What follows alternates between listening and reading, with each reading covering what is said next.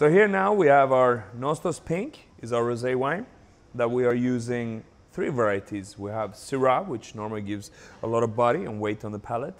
We have Grenache, which gives this really beautiful aroma.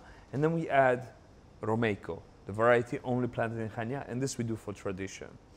Um, when we are making this wine, what we do is, uh, when the grapes arrive, we do what we call saignée.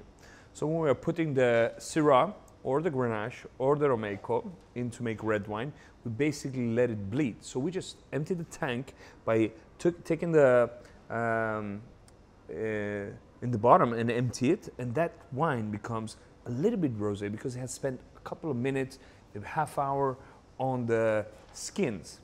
Uh, this wine, I love to have with some great gossip and good friends. Yeah, Nostos Pink. Cheers.